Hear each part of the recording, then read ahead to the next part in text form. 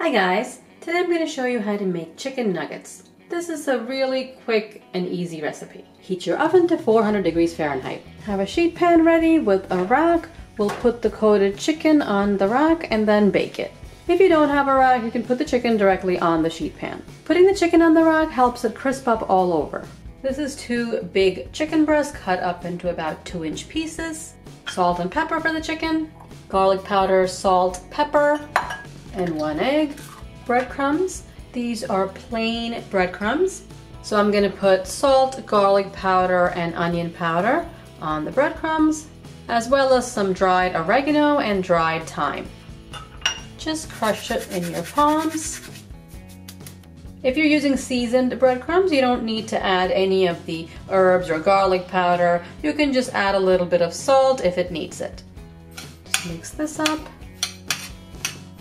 To the chicken, I'm just gonna add one teaspoon of apple cider vinegar.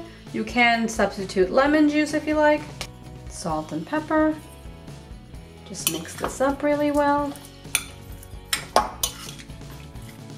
Let this marinate for about 15 minutes. To our egg, salt, pepper, and garlic powder, I'm gonna add just a tablespoon of water. Mix this up really well. To the breadcrumbs, I'm gonna add a little bit of olive oil and just mix that in. This will give the crust a nice golden color. If you don't add the oil, your crust will look a little dry. So we've got our chicken marinated, our egg, and the breadcrumbs. Take each piece of chicken, dip it in the egg, drip off the excess, and with your other hand, just press the breadcrumbs right onto the chicken. So it's nicely coated all over. This can be placed directly on the rack. You can see they're the size of chicken nuggets. This is such an easy recipe and a healthy one too, because you're not deep frying anything. Even the pickiest kids will eat these chicken nuggets. Here are our chicken nuggets coated and ready for the oven. We'll bake this in the heated 400 degree oven for about 15 to 20 minutes. The chicken nuggets are ready after 18 minutes in the oven. Serve them with ketchup, honey mustard, or barbecue sauce.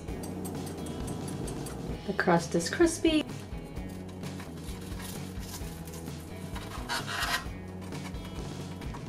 You can see it's juicy, very moist, really flavorful. I really hope you give this easy recipe a try. Subscribe and I'll see you next time. Thanks for watching.